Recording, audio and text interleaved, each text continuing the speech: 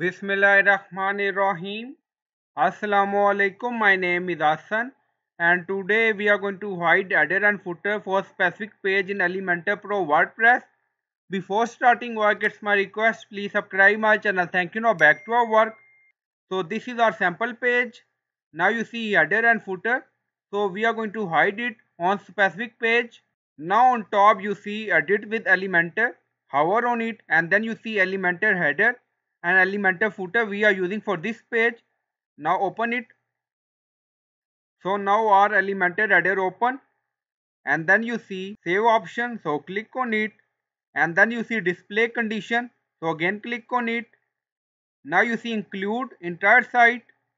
Now you see add condition button. So click on it and then you see include. Now select exclude.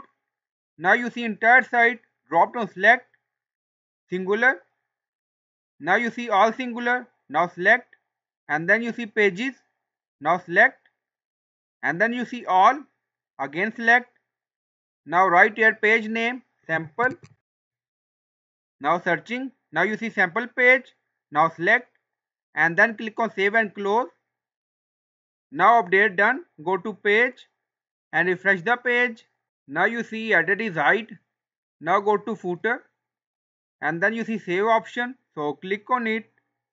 And then you see display condition so again click on it. And then click on add condition. Now select exclude. And then you see entire site select singular.